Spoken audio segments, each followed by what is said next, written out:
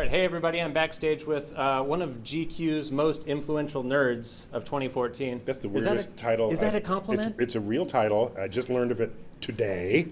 and who? I think they're running out of lists to make. or maybe there just aren't that many influential. No, you're a very influential. Influential nerds. Who would have thought that would ever be a category? Who would have thought that GQ would take that on? But it's so exciting to have you here because you just finished Cosmos. Yeah. yeah I'm 12 still Emmy reco- nominations. Still recovering. Still recovering. Uh, 12 Emmy nominations. Everything it was proposed to be nominated for, it got a nomination for. it. Congratulations. So we're all very excited about it. I'm excited about it. I just got caught up on the series. You were And- late. He was late. He Well, wasn't- I was a little After late. all that PR, I've like what? never been on time for anything. Abdul. Take me back, Neil. Take me back.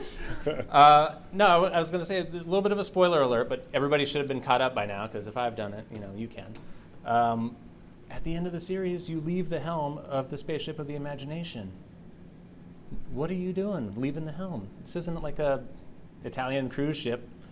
What's going to happen? What, It's because it's not my ship. It's our ship. Hmm. It's your ship, Thank you. the viewer. Okay. It's a gift of the production to the viewer so that you can explore the cosmos at your will. Will we see somebody else on TV get into that seat?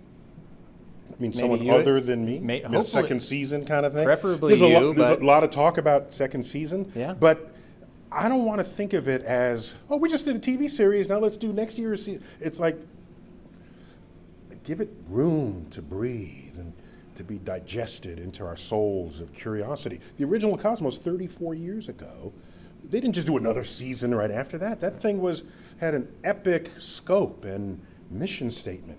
And when that's how you're making your television, you can't just rattle that off every season. It's that's But you got people hooked on the science, Neil. I know, I know. and we want more of it. You can't just cut us off cold turkey.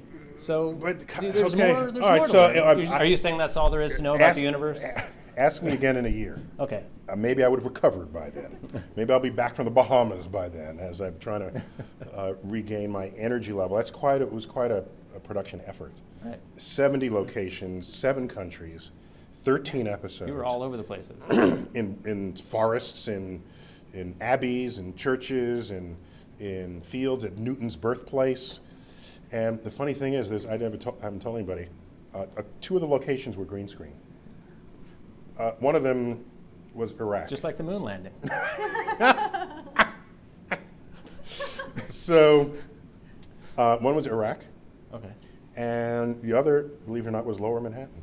Really? We didn't actually go there. Two places you don't want to be. No, I live in Oh. Lower Manhattan. I, it, was- it would have been easy to, for me to cross the Brooklyn Bridge and do the scene. Yeah. Uh, but the setup there and the time, given how many minutes of, Mm-hmm. of actual airtime that represented, we just we got good plates of the horizon Yeah. uh, of the, the cityscape, and then they just grafted me into the foreground. When you were here a year ago, you were just getting Was it a year to- ago? Yeah, Well, it was about seven But this wasn't ago. here. This was not here. yeah, We- yeah. The we Enterprise was from a blank wall last year. Exactly. So I love what you did with the place. Thank yeah, you. okay. Thank you. Uh, but when you were here last time, you were just gearing up to do the space show at the Hayden Planetarium. Oh yeah, it's now How's it it's going? now open. Oh, it's great. Oh man, uh, it's dark mat. It's, it's called the Dark Universe, Right. and it's all about dark matter, dark energy, the discovery of it, how much of the universe we have no clue what's going on, and it was audacious because the show is about what we don't know Right. rather than what we do. This Yeah. is the space show at the Hayden Planetarium. That's my day job when I'm not on TV. I'm See, actually, you're not a know-it-all. actually, You're talking about what you I don't know. actually work. Okay. and you're still doing Star Talk Live. Star, Star Talk, Star Talk, and Star Talk Live is when it's in a theater. Oh. Right. But otherwise, it's in studio. Yeah, Star Talk is a radio show and podcast uh, where I'm the host. You can and- have and I- knowledge dropped on you by Neil deGrasse Tyson anytime you want. knowledge egg cracked on your ass. Exactly. uh, no, so the, it's in the it's inverted an inverted model of what a normal science radio show would be. Normally, there's a journalist interviewing a scientist, typically, but in this case, I'm the host and I'm the scientist, and my guest is hardly ever a scientist, someone hewn from pop culture. Then we talk about how science has impacted that person's livelihood. I like it. And so it's science as it has manifested in our lives. Now I like stars, and I don't have a And lot who of doesn't? money. The sun and who doesn't?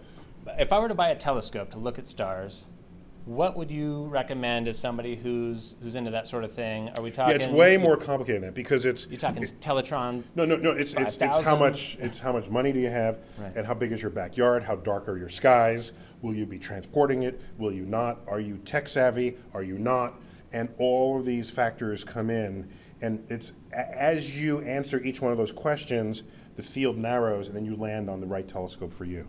So And there, do it's you like believe saying that there is a right telescope for everyone? Yes, Well, yeah, but depending on your needs. Okay. Yeah, yeah, depending on your needs and your budget. Um, but it's like saying, oh, what car should I buy? Well, what do you need? How many kids do you have? What do you, it's those kinds of questions with telescopes. There's- What are a- you What are you peeping into these days? oh, do you know that New York City has the high? I, I read this. I haven't verified it, but I read it. That It's gotta be true. It's got to be true. Yeah. But I didn't read it on the internet, so that has a higher chance of it being true. Right. That New York City has the highest per capita ownership of telescopes. Really? Yeah. So what the hell are they looking at? Probably their neighbors. Yeah, I'm what guessing? heavenly bodies are they accidentally poking in on? So, uh, on cloudy nights, I make sure my curtains are closed.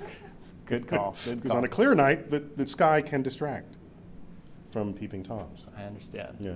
Makes sense. Dr. Neil deGrasse Tyson, thank you so much Thanks for coming having back me. to the show, for This joining could us be, will be an annual thing. I like it. We'll keep it up. All right. We'll see All you, right, uh, thank see you you. soon. See you next Mhm. year. All right.